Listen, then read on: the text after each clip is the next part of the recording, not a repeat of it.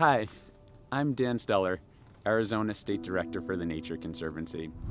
I'm here in the Phoenix Mountains Preserve, one of my favorite personal getaways close to home.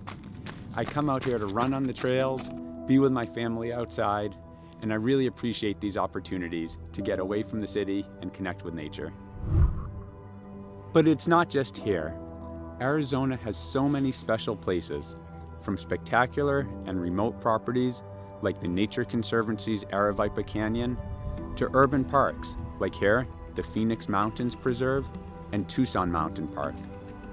A deep connection to special places is at the heart of our DNA at the Nature Conservancy. With the generous support of donors, we've been able to protect tens and thousands of acres of land and hundreds of miles of rivers across Arizona. What many people may not know is that we've even had an important role in protecting some of our most special and well-loved places, like here, the Phoenix Mountains Preserve and Kartchner Caverns in southern Arizona. Today is Earth Day. The first Earth Day, held in 1970, was a huge success, largely because hundreds of thousands of concerned citizens and volunteers were inspired to come together to advocate for the planet. Being here in the Phoenix Mountains Preserve, I'm reminded that it also took grassroots efforts and concerned groups of citizens to ensure we all benefit from special places like this. Much like with Earth Day, committed volunteers and inspired groups of citizens are at the heart of our history and mission at the Nature Conservancy.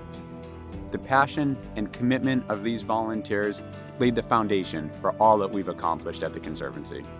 Today, we are a global organization, but volunteers and donors continue to be the foundation of our work, and we really could not achieve our conservation success without each of you.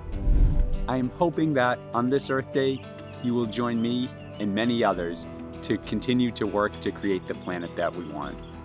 Whether that's spreading the word about TNC's work or contributing to the cause financially, we're grateful for your support. Together, we can make every day Earth Day. Thank you.